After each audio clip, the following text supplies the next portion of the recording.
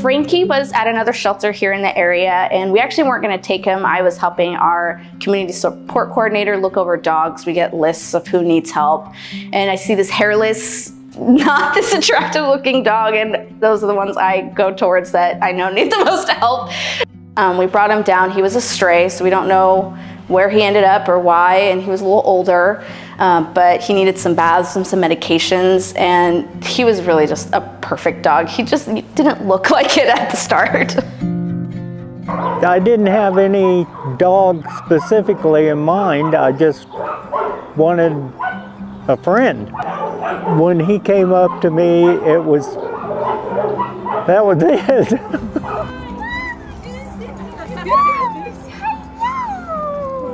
He's just great.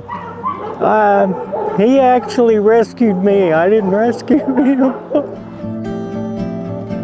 VA has helped me tremendously. I've had uh, open heart surgery. He was a perfect fit. I mean, we're both old, we're both the same age.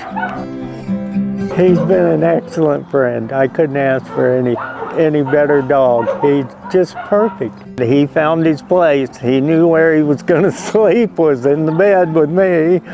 And uh, like I said, he's got his own couch and that's where he, when he's not in bed, he, he'll jump on the couch and sit there and watch me cook or whatever I'm doing.